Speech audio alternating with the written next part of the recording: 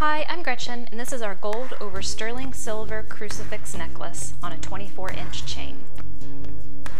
This traditional yet stylish two-toned crucifix necklace features a silver corpus and gold cross. It has been a popular favorite with our customers.